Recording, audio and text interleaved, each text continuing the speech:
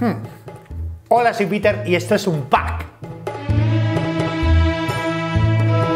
Bienvenido todo el mundo otra vez a este canal, a un vídeo en el que os voy a contar una cosa curiosa. Bueno, es una cosa que me horroriza realmente, pero os la quiero contar porque quiero leeros ahí abajo a ver qué opináis, porque yo tengo una opinión muy clara sobre esto, pero quiero compartirlo con vosotros porque igual soy muy antiguo o soy muy moderno no sé qué pasa por mi cabeza. Os pongo en situación. Yo me fui de compras una mañana, una mañana rarísima. Además, me fui a primar. De estas veces que entras a primar que dices eh, que me sujeten porque voy a salir de aquí hasta arriba.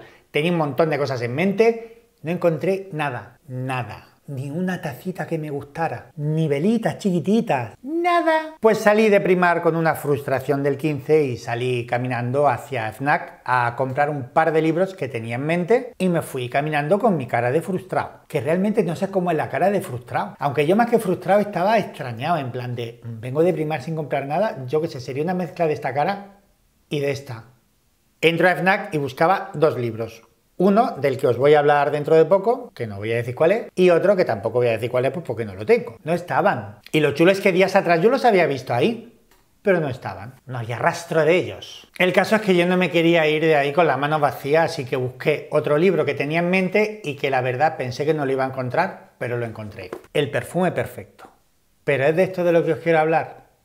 No. Yo ya iba camino del tren con una cara un poquillo diferente, porque bueno, por lo menos me llevaba un libro, aunque no me llevaba a casa nada de lo que yo había salido a buscar. Y había un señor allí en medio repartiendo papelitos. El señor que repartía papelitos era el profesor como se llame. Gran vidente experto en amarres de amor, especialista en resolver inmediatamente todo tipo de problemas en solo tres días. Volverá cariñosamente detrás de ti aunque haya pasado mucho tiempo de la separación, bla bla, miau miau, guau guau. De este tema me horrorizan dos cosas. Uno, que haya gente que se dedique a esto y dos, que a esas alturas de la película no nos haya dicho nadie que cuando alguien no nos quiere no nos quiere. Bajo mi punto de vista hay diferentes actividades por las que tienes que pagar y que tienen mucho que ver con un estado anímico, que suele ser de mal hacia abajo. Y ese tipo de actividades deberían estar, si no reguladas, como mínimo penalizadas. Creo que es algo demencial que haya alguien que se dedique a usar de tu bajo estado de ánimo para sacarte pasta e intentar convencerte de algo que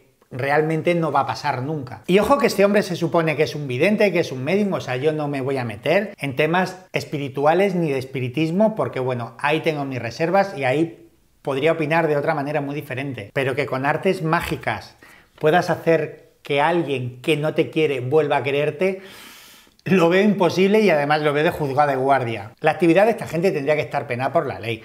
Que me disculpe si me ve algún medium o algún vidente, pero vosotros sabéis mejor que yo que esto es un engañabobo de largo. Y la segunda parte que me aterra y en la que yo me he visto, vamos a ver, no voy a decir todo el mundo porque afortunadamente hay cuatro o cinco personas a las que no le ha pasado, pero yo estoy en ese gran grupo de gente en el que me han dejado alguna vez. O sea, yo he tenido una pareja que por el motivo que sea, que tampoco es cuestión de explicarlo, me ha dejado y yo me he sentido dejado. En ese periodo de descompresión, el ser humano tiene sus recursos para pasarlo lo menos mal posible.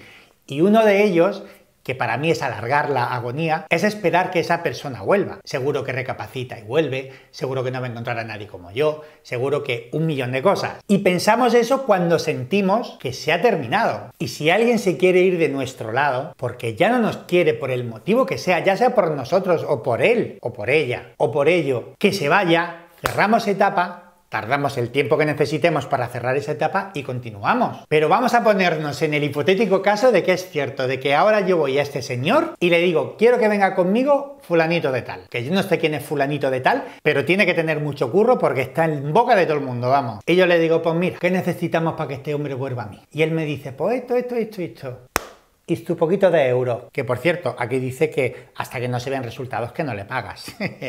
Me río de Janeiro. El hombre despliega su magia y ¡pam! El muchacho este vuelve. O sea, acabo de hacer por artes mágicas que vuelva a mí una persona que no quiere estar conmigo.